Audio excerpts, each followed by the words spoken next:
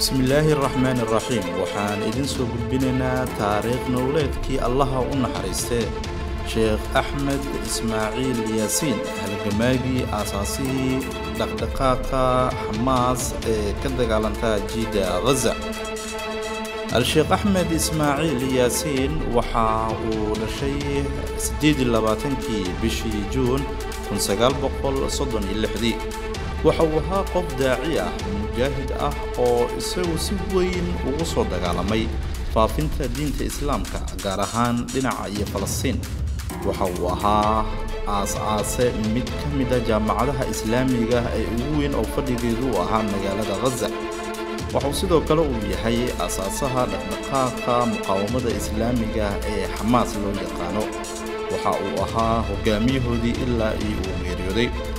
waxa uu ku dhashay tuulada jawrah la yidhaahdo ee koonfurta jiidda ghaza iyadoo dhacda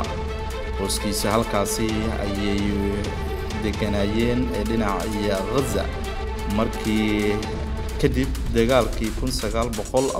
iyo sideedii waxaa asiibay amaba ku dhacay isaga oo dhallinyaro ah oo isaga oo ka qayb qaadanaya amaba ku jira jimicsi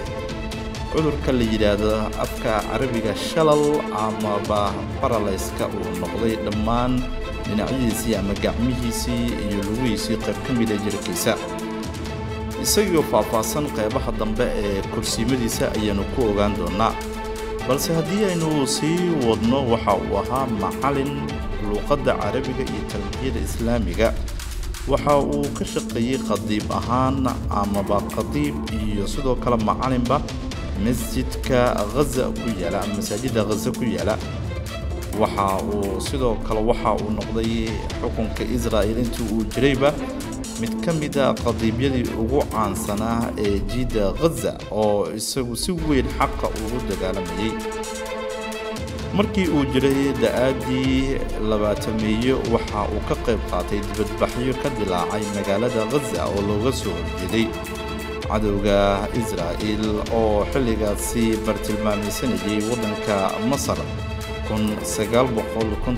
iyo lixdii hijiriyadan marka la eego ay ahayd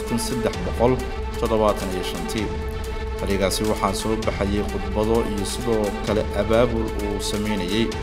markii lagu guulaystay iyo toddobadii oo israa'il dhammaan dhulkii falastiin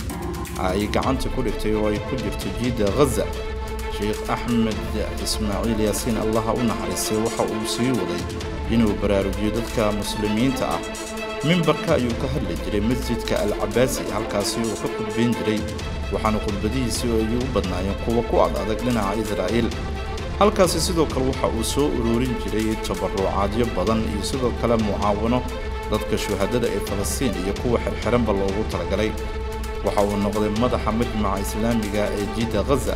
al-sheekh axmed yaasiin ayaa la xiray sannadkii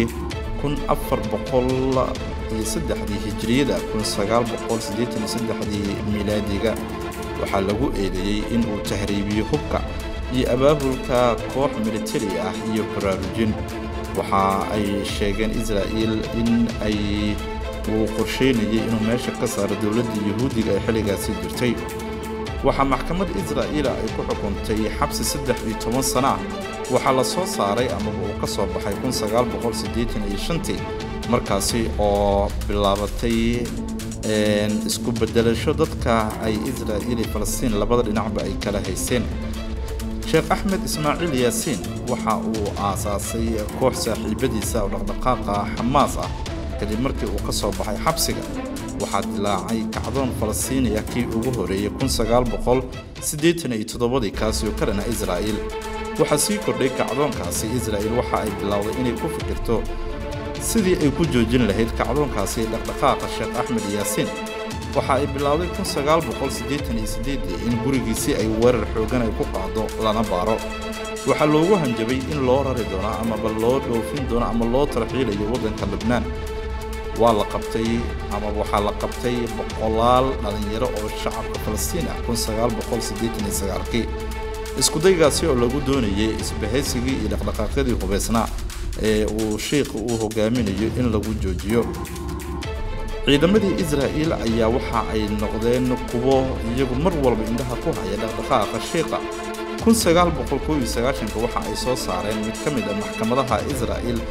xukun noloshiisa inta ka dhiman lagu xabisayo shiiqa oo ay u sii dheer tahay shan iyo toban sano oo ku saabsan kicin iyo sidoo kale afduub qafaalasho iyo dil ciidamada israa'iil iyo inuu aasaasay dhaqdhaqaaqa xamaas iyo jihaadiyiintooda sannadkii dii waa la soo daayey isagoo lagu soo daayey heshiis ay wada gaareen urdun iyo israa'iil heshiiskaasi urdunna ay wada galeen ayaa la tilmaamay inuu ku soo dhammaaday mid fashil ah. Waxaana taasi fashilkeed qayb ka ahayd kooxda muusaad ee sirdoonka israa'iil qaabilsan oo markii dambe bartilmaamaysatay khaalid mashcal madaxa xafiiska siyaasadda ee dhaqdhaqaaqa xamaasa. Al-sheekh axmed yaasiin waxaa lagu dilay weerar gantaal oo ciidamada diyuuradaha amaba israa'iil ay ku qaadeen isaga iyo laba gaaliyaashiisa ka mid ah diyuuradahaasi ayaa waxa ay ahaayeen kuwo duqeeyey kursigii uu saartay markii la bartilmaamaysanayay waxa uu ka soo baxayay salaada subax masjidka majmaca islaamiga ee u dhowaa gurigiisa. Sheekh axmed yaasiin ayaa waxa uu ahaa qof siyaasi si weyn isaga ugu dhaqdhaqaaqayay shacabka falastiin sidii ay xor uga noqon lahaayeen israa'iil. Waxa ay ka dhigtay mid ka mid ah astaamaha wadaniga falastiin ee qarniyadii labaatanaad daawade warbixinada ku saabsan taariikhda sheekh axmed yaasiin. Waxay ahayd qaybtii koowaad waxaan idin soo gudbin doonaa qaybo kale oo waaweyn oo ay ka mid tahay sida uu ku soo barbaaray shaqadiisii iyo sidoo kale awooddii masar iyo aqwaanulmuslimiin iyo dhaqdhaqaaqyadii uu sameeyey iyo siyaasaddii gudaha iyo dibadda iyo sida ay caalamka ay u arkayeen. Halkaasi ayaan ku soo gebagabeynayaa qaybtii koowaad ee taariikhda sheekh axmed yaasiin allaha u naxariistay halgamaagii reer falastiin ee aasaasay dhaqdhaqaaqa xamaas waxaad sabskribe saaraysaa kanaalkeena youtube-ka ee kinaanka si aad u hesho warbixinno fara badan